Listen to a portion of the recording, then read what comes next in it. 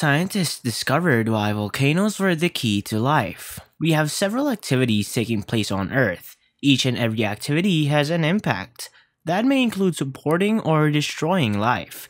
Scientists have undergone a struggle to discover how volcanic activities are key to life. Origin of the volcanoes and theories that are supporting the volcanic activities. Join me today in this video as we discuss more about why volcanoes were key to life earlier volcanic eruptions that took place and their effects. Mount Tambora had begun to roll in 1819. A culture had grown and diversified in Indonesia. Cambodia and Vietnam were the trade links it had. Sir Stamford Raffles lived here. He spotted sounds of gunshots and thought it was a military threat that had caught them up. Days later, he discovered the cause of the heard blasts, and this is a thin layer of ash that was descending from the darkening skies. This made the atmosphere fluffy. A day later, Mount Tambora exploded. The kind of explosion that took place had never been witnessed before. As the mountain collapsed, it blew itself apart. Semi-molten volcanoes rained from above.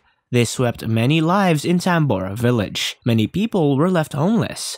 The following day, the mountains are one and a half kilometers short, forming a caldera that was six kilometers wide. From this day, there was no sunlight on Earth. The volcano poured out and darkened the skies. Poisonous gases filled the atmosphere and blocked sun rays from reaching the Earth's surface. This led to the decrease in temperatures by 3 degrees. Due to the absence of sunlight, crops failed, in most cases, plants depend on sunlight for photosynthesis purposes.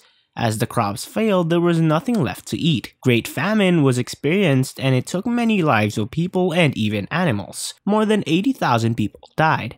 The Tambora eruption was the most destructive disaster that was witnessed on Earth ever since Earth came into existence.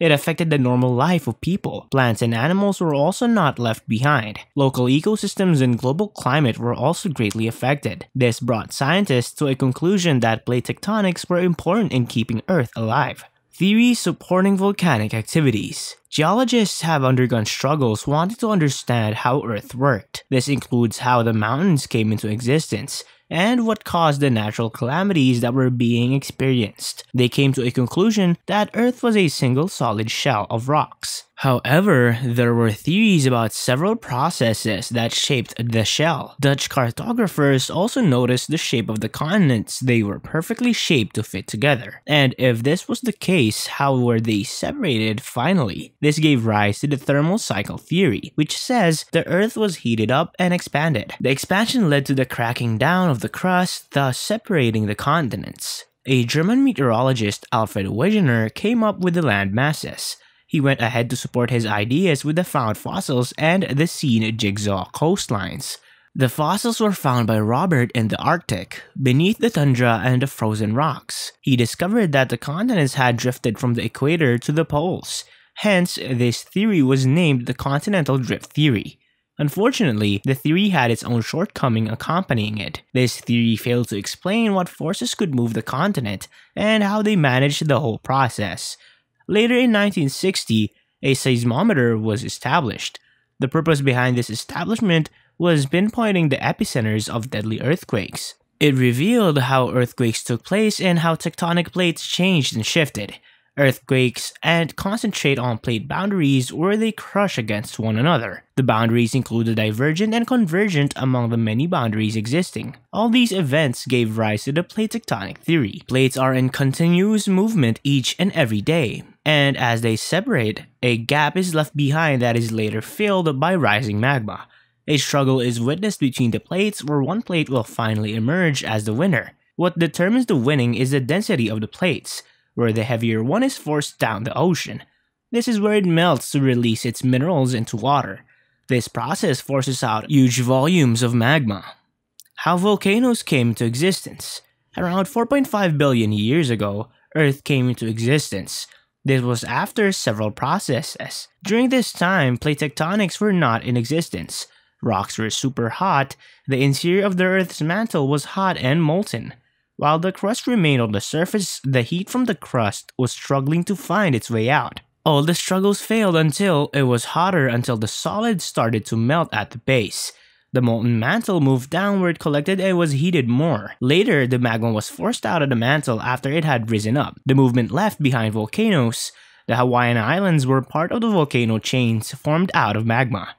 During this time, plate tectonics had dominated as compared to plume volcanism.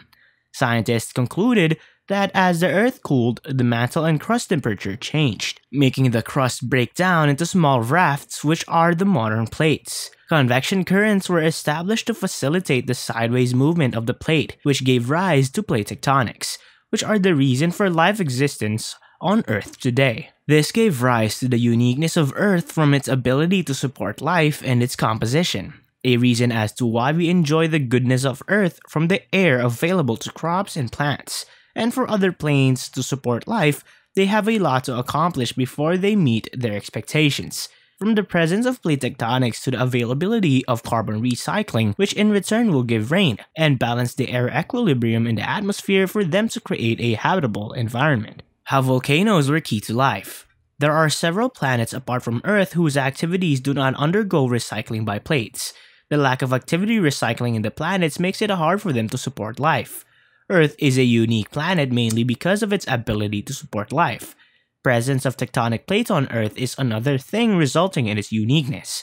The movement of rocks into the Earth's surface has a great contribution. Life is made up of organic compounds, but this does not mean it fully relies on organic compounds. It also depends on inorganic compounds, like carbon dioxide for the sake of maintaining favorable temperatures on Earth. This is possible by the trapping of heat from the sun by carbon dioxide within the atmosphere. This carbon dioxide comes from volcanic eruptions. During the eruptions, the carbon dioxide is released into the atmosphere to increase global temperatures.